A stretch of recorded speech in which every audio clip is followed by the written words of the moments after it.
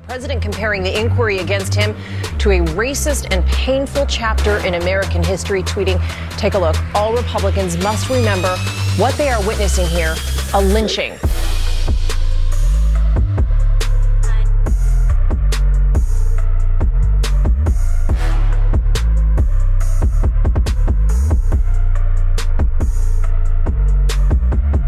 Yeah, right off the bat, let me just say, I noticed while editing this video that I have a wet spot on my shoulder that shows up pretty good in the video. Just before I started recording, I was holding my son and surprise, he drooled all over me. That's just stay-at-home dad life for you. You know how I always say that the Democrats and their media hold their political opposition to standards that they don't hold themselves to, or it's always different when they do it. Well, this is yet another undeniable example of this two-tier system of standards. Over the last few days, the Dems and their media have been manufacturing outrage over Trump's latest Twitter troll, calling actions being taken against him lynching. And by the way, I have no doubt that he knew the media would react this way, and they haven't disappointed. The media claims that lynching is yet another word in the growing list of words that can't be said by white people.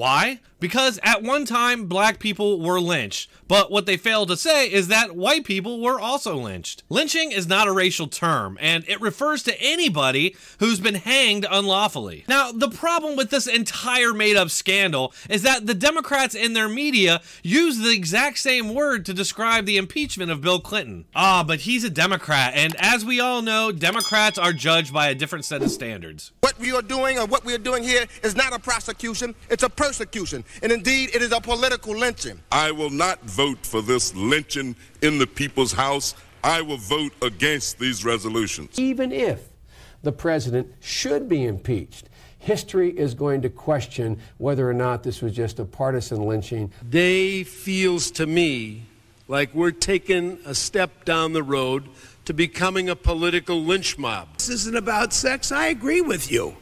This is about getting rid of the President of the United States. The whole idea is a lynch mob mentality. That's pretty juicy, but guess what? It wasn't just the Democrats, but also their media. Much like today, the media was just an extension of the Democrat Party and would report their talking points as unbiased news coverage. In one case, the New York Times reported, quote, Later, Representative Ike Skelton, Democrat of Missouri, said the Republicans wanted to, quote, decapitate their commander-in-chief.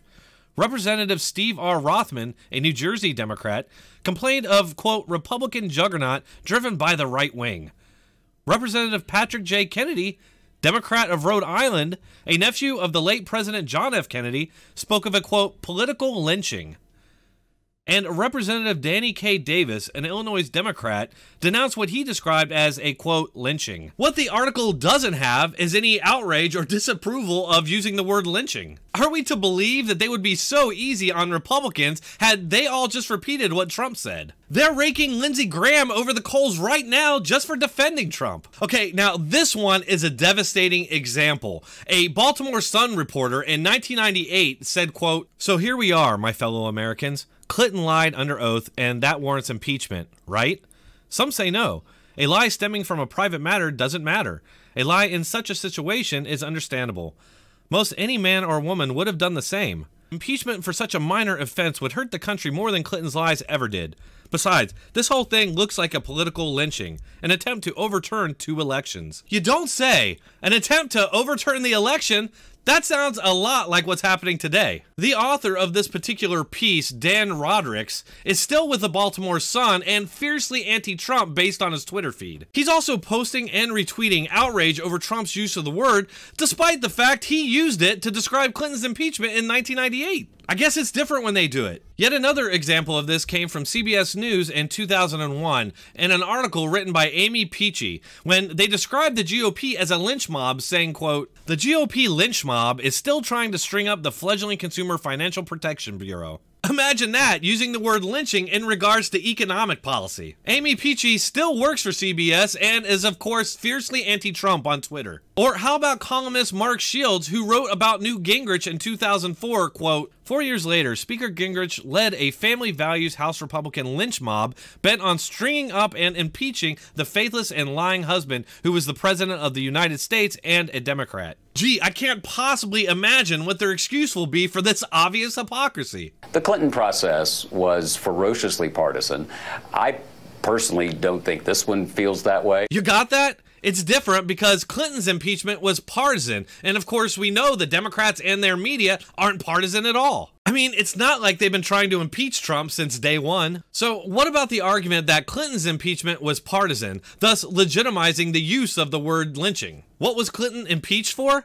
He was impeached because he lied under oath during a sexual assault and rape investigation. That's also commonly known as obstruction of justice. That's right, Bill Clinton was being accused of sexual harassment, sexual assault, and rape, then lied under oath during the investigation. So, no, Clinton's impeachment was 100% legitimate. If you want any more proof of these double standards, how about this man, Jon Meacham, delegitimizing credible sexual harassment, assault, and rape allegations as partisan? And the Me Too era. It shouldn't really surprise me, I guess, because at the time, the media, Democrats, and in particular Hillary Clinton were attacking and trying to discredit Bill Clinton's accusers. Oddly, they didn't have the same respect for whistleblowers back then. The accusers uh, of Bill Clinton back in the 90s uh, were never given the credence and uh, treated with the same respect uh, that these women are being treated. So here we have yet another irrefutable example of the media enforcing double standards against their political opposition.